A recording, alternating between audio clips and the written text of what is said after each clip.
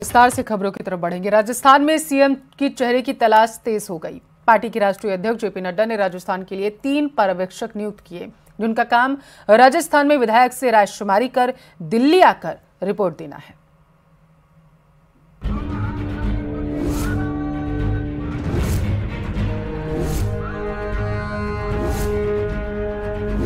राजस्थान में आने वाले अगले दो दिन भारी हलचल भरे हो सकते हैं, क्योंकि इन दो दिनों में आलकमान ये तय कर सकता है कि प्रदेश का नया सीएम कौन होगा, क्योंकि इस कवायद की पहली सीढ़ी पार कर ली गई है। पार्टी के राष्ट्रीय अध्यक्ष जेपी नड्डा ने बतौर ऑब्जर्वर राजस्थान के लिए पर्यवेक्षकों की नियुक्ति कर दी। रक्षा मंत्री राजनाथ सिंह, राष्ट्रीय महासचिव विनोद तावड़े, राज्यसभा सांसद सरोज पांडे की नियुक्ति की गई है। इन सभी तीन पर्यवेक्षकों का काम विधायक दल की बैठक में शामिल होना और उनसे रायशुमारी कर दिल्ली आकर रिपोर्ट देना होगा। राजस्थान में बीजेपी की जीत के बाद सीएम पद की रेस में पूर्व सीएम वसुंधरा राजे, बाबा बालकनाथ, सीपी जोशी और गजेंद्र सिंह शेखावत के नामों पर चर्चा हो रही थी। हालाँकि खबर ऐसी भी थी कि बीजेपी आलकमान नए चेहरों को मौका दे सकता है। हालाँकि वो कौन हो सकता है, ये अभी तक साफ़ नहीं है। हालाँकि, इस बीच खबर है कि प्रदेश में सीएम के साथ दो डिप्टी सीएम भी हो सकते हैं।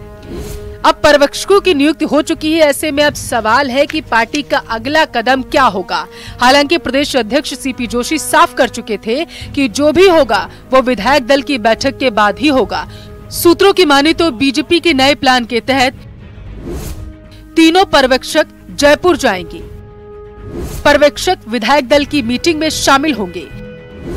विधायकों से पर्यवेक्षक रायशुमारी करेंगे। उसके बाद दिल्ली आकर रिपोर्ट आला कमान को सौंपी जाएगी, जिसके बाद सीएम के चेहरे पर आखिरी मुहर लगेगी। पिछले कई दिन से बीजेपी में सीएम फेस को लेकर कवायद जारी है।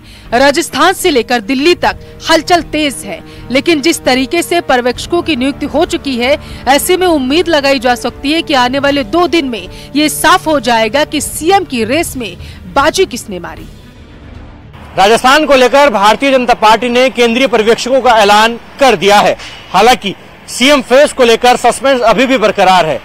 लेकिन, पार्टी ने अपने तीन दिग्गज नेताओं को केंद्रीय पर्यवेक्षक बनाकर राजस्थान भेजा है, जिसके पीछे की मुख्य वजह है कि निर्विवाद रूप से राजस्थान में विधायक दल की बैठक में भारतीय जनता पार्टी एक राय बनाए।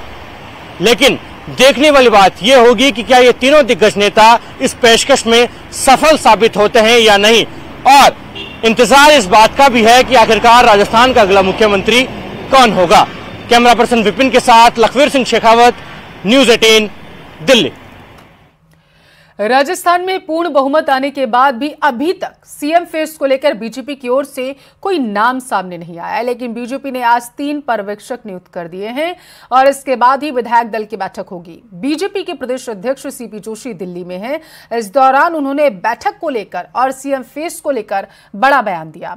उन्होंने कहा है कि जल्द ही विधायक दल की बैठक होगी और सीएम मज़बूत व्यक्ति बने, इसीलिए मंथन जारी है। सीपी जोशी से बात की हमारे संवाददाता लखवीर सिंह ने।